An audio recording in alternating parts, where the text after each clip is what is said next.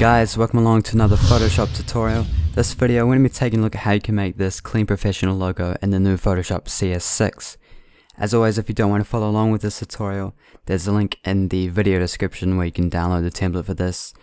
And uh, there's also a, a few templates for other logos and other tutorials that I've made, so be sure to check those out. Okay, so here we are in the new Photoshop CS6. First thing we're going to do is create the new document that we're going to be working with. So if I go to File, New, and just change the width and height to quite high because it's always better to work with a large version then you can always make it smaller. Okay, so for the width I'm going to use 1024 and for the height I'm just going to use the same. Alright, so that is okay. Right, now we have our new project, so the first thing I'm going to do is create the background gradient. Uh, just because it looks a little better than if we go for the default white. Uh, you can always hide the background layer if you're going to save it for a watermark. And I'll go through that at the end after we're done with creating the logo. Okay, so the first thing we're going to do is select the gradient tool. Now what we have to do is pick the colors that we're going to use for our transition. So if we click this little box up in the top left here, You'll see that we can uh, pick the colors that we want the gradient to transition between. So, if you see these little arrow things, what they're called is they're called stops. If you double click on the first bottom one, you'll see that we get this box come up where we can choose the color that we want it to be. So I'm just going to pick a grayish color and hit OK on that. And then for the second little stop here, I'm going to change it to another gray, but just make it a bit lighter.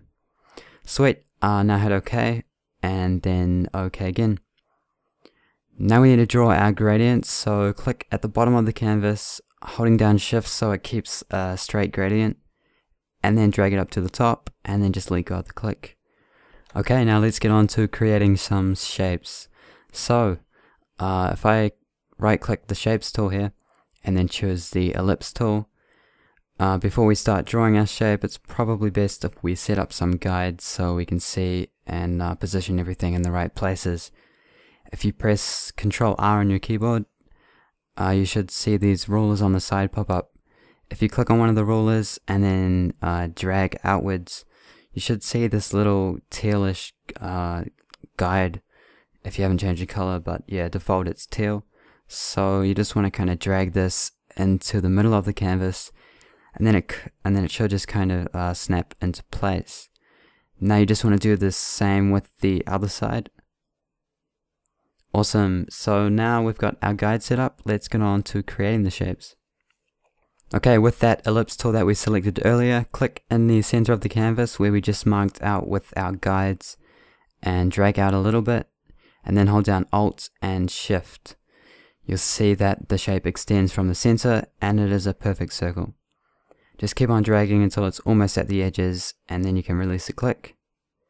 Now because we're going to be making a few shapes you probably want to change the uh, coloring so we know which shape is which. If you click this little fill box up here you'll see that we can change the color. So I'm just going to choose a dark gray. Awesome. Uh, now if we duplicate this shape layer uh, you'll see why we're going to do that a bit later on but just duplicate it by right clicking on it and then clicking uh, duplicate layer. Okay, so now I'm going to cut out a bit of the shape to create that ring around the edge that we saw earlier. So to do this, I'm going to choose the subtract front shape from this uh, first little drop down here. And then you just want to click in the middle of the canvas again, hold down Alt and Shift, and then drag it out so it's just a little smaller than that other circle that we made earlier. Sweet, uh, now let's change the color just to a lighter gray with that same color box there. Okay, now we've just got one more shape to make, so if we go back into that drop down list again and make sure you've chosen to create a new layer. Now just click in the middle of the canvas, hold down shift and alt again, and then create another circle a little smaller than the previous one, like that. Awesome. Cool, now let's get on to creating some styles. Uh, if you double click that ring layer that we made, uh, should be the middle one, it'll bring up the layer styles window. And from here you want to check the inner shadow, gradient overlay and drop shadow. Now if we click on the inner shadow text, it'll just change the menu to that inner shadow menu. And to create a little highlight, I'm just going to change the blend mode of this to normal, the color to white, the opacity to 100%, distance to 5 pixels, size to 5 pixels, and that is all for the inner shadow. Now you just want to choose the gradient overlays, so once you've done that, just click on the little gradient box there, and we're going to make a grayish gradient like we did kind of at the start. So for this first stop, uh, choose a light gray. And then for the second one, choose a little lighter gray. Cool, now we've done for the gradients, so click OK on that. And then choose the drop shadow style. And all you want to do in here is change the size to about 20 and the rest should just be fine. So now we've done with the layer styles, just hit OK.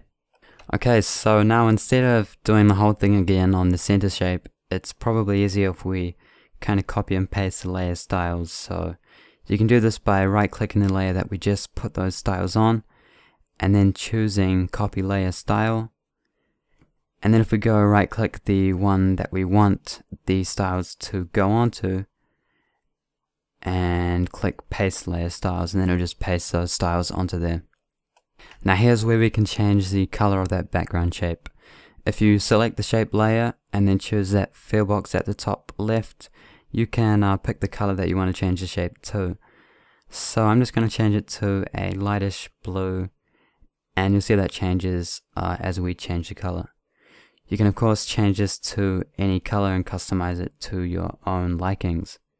Awesome, so I think that is it for the shapes. So now we're going to move on to the text. So let's right click the text tool and then choose the horizontal type mask tool. Click outside of the shapes and then type in the text that you want. I'm going to use the letters D and 3. And I'm just going to change the font to a font called Dodger Condensed. Uh, there'll be a link in the video description if, if you want to use this exact font. And it's looking a bit small, so I'm just going to change up the size by clicking on that little T there and then kind of dragging it to the side. And then to move it, if we hold down control on our keyboard and then just move this little bounding box, you see that we can position and resize the text as well. So I'm just going to make it so it goes a little out of the shape. Uh, that's fine because in the end, it'll kind of connect with that little blue part in the background there. Cool, now I click the top shape layer and then I'm going to make it so that we can just kind of hide that selection that we have from the shape so we can see the blue shape behind it. Easiest way to do this is uh, since we've got a selection, if you hold down Alt and then click the little add layer mask button down here, you'll see that we can uh, hide the text from the shape, which is uh, pretty cool. So now, if you want to reposition the text a little bit more, you can click this little chain here just to turn off the lock and then you can uh, select the layer mask and then choose the move tool and then you can uh, reposition it by clicking and dragging or just using your arrow keys on your keyboard. Sweet, so that is pretty much it for the text. Now I'm just going to make this look a little better by adding a few highlights and stuff like you saw in the preview I showed you. So if you hold down and uh, if you hold down control and then click on this colored shape background, we can make a selection from it just so our highlights don't go outside of the shape. And now you just want to create a new layer by clicking the new layer button so we can put the highlight on its own layer. And you just want to make sure that you have that above the colored layer. Now we're going to use the brush tool to make this highlight. So if I choose the brush tool and then in the canvas, if I hold down Alt and then use my right click button on my mouse, and then I drag this horizontally, you'll see that we can change the size. And if you do it vertically, you'll see that we can change the hardness of the brush.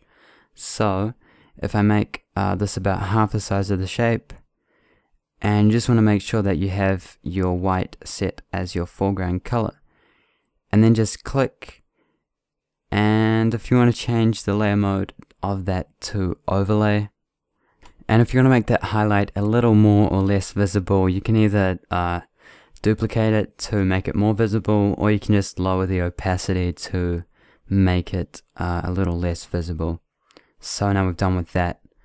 Now if you want to add some additional gloss similar to the last thing we did but a little different you just want to create a new layer and make sure it's at the top of the list and then make sure that you've got the selection of the blue shape again just by holding down control and uh, clicking on that blue icon now we only want this to cover half so if I choose the marquee tool which is this one up here hold down alt to uh, kind of get rid of the part of the selection and then I drag this to about half of that little circle there and then it's just going to remove half of the circle so if we set white as our foreground color, and then I hold down Alt plus backspace, it's just going to fill the selection to that layer.